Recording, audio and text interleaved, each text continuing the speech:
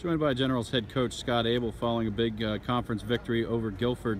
Uh, coach, a few comments about today's game? Yeah, you know what? What a great team effort. You know, it, it, it's uh, in these situations when you see your whole team kind of come together to, to rally around those guys who are injured and the guys we're not playing with. Um, man, it, it's just it, it, tells you that you know our guys are doing the right things and, and, and we're taking the right steps because to have as many young kids on the field today and to beat a quality team the way we beat them today, yeah, I really I couldn't be prouder. And that's it, it says a lot about our seniors. You know how they've led and um, that what they bring to this team. How about the play of the two quarterbacks who played today, uh, Drew Richardson and Trey Laughlin?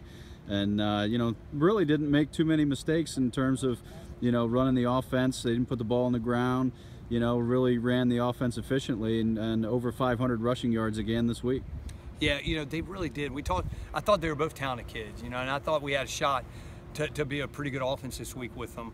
Um, the key was, you know, uh, you know, where would the stumbles be, right? You know, with the lack of experience, and to give them both credit, they really they took care of the football, and they they took what the defense gave them. You know, when when it was a pull and a keep for them, they they, they did a great job running, take securing the, the football. When it was a pitch out wide, they did a great job there, and uh, and then when it was a give inside, they did a great job of reading it. They really did, and, and that's not easy. I mean, you know, people see our offense like, oh, we just run the football, but there are reads just about in every play. There's a decision to be made on every play. Our quarterback's just not opening up and handing the football off. So, extremely proud of them uh, and their development. Uh, uh, you know, they've learned a lot under Matt in these in these first you know eight nine weeks of their career here at quarterback. You know, because Drew wasn't there last year, and so um, I'm excited for their future. I really am.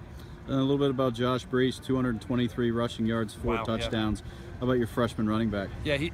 Well, we, I think we've all known now for really since uh, the Hopkins week. He's pretty good, right? He, he's he's a talented young man who, you know, he, just what a, what a competitor. You know that that's what I've learned about about Josh and early in his career. He's a competitor. He, he comes out of a great high school program, used to winning, and he expects when he gets on the field uh, to win. And uh, you, you see that come out in him. And uh, you know, I think it's. I'm saying it Molly when I say his future is extremely bright, and, and uh, he wants to learn. He wants to get better. So uh, you know congrats to him and, and, those guys blocking. I thought we blocked extremely well for him on the perimeter and, and up inside. And a little bit about your defense, uh, you know, able to shut down Guilford for the most part. Gave up a couple big, uh, you know, big plays, but aside from that, really made Guilford work for things. Well, we really did. A really, you know, they, they did a fantastic job, and you know, we had guys injured over there as well. You know, Thomas Freeland not playing. Um, you know, and he's, he's a heck of a player for us. So, you know, Davis Walter stepping in and really playing well, and our seniors around him, Michael, uh, and Gray and Dominic and, and Max Garrett, and then getting getting a pass rush, I mean, getting to the quarterback again. That's been a big key for us this year, right? And uh, really proud of those guys up front as well. well. Thanks so much, Coach, and good luck next week against Hampden-Sydney. Thanks, Brian.